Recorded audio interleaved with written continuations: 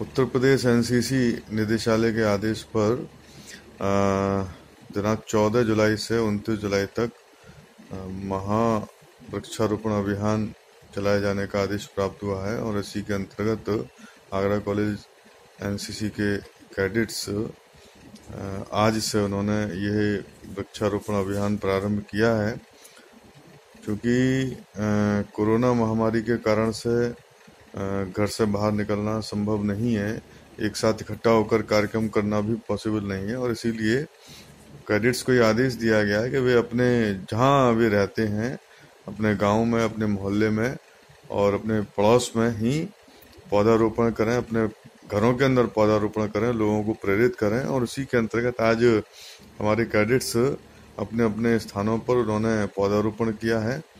लोगों को पौधारोपण करने के बारे में समझाया है कि पौधारोपण क्यों आवश्यक है, किस प्रकार से धरती को हरा भरा हम रख सकते हैं, इन सब बातों को लेकर यह अभियान हमारा वृक्षारोपण का उनतीस जुलाई तक चलेगा। इसके अंतर्गत विभिन्न प्रकार के कार्यक्रम हम पूरे इस पखवाड़े के अंदर आयोजित करेंगे और हमारा उद्देश्य है कि लोग अधिक से अधिक कैडेट्स का इसमें सहयोग करें और धरती को हरा भरा बनाने में अपना योगदान प्रदान करें।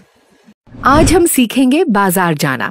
सबसे पहले नाक, मुँह को मास्क या कपड़े से ढकें।